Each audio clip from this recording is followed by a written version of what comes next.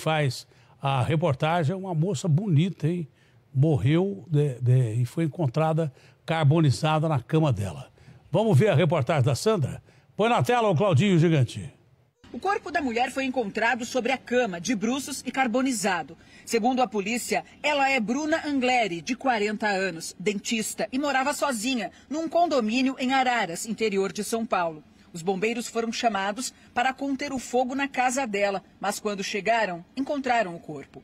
No IML, os exames mostraram que a mulher tinha sinais de espancamento. O rosto estava deformado, cheio de hematomas e uma costela quebrada. O ex-namorado da dentista é um suspeito. Isso porque, segundo a polícia, a vítima tinha uma medida protetiva contra ele, que há dois meses invadiu a casa dela e quebrou vários objetos. Ele foi ouvido, negou tudo e liberado em seguida.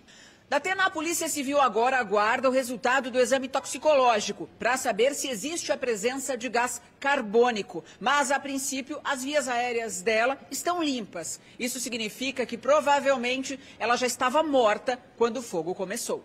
Nas redes sociais, a dentista publicava vídeos alegres e momentos de brincadeira com o filho.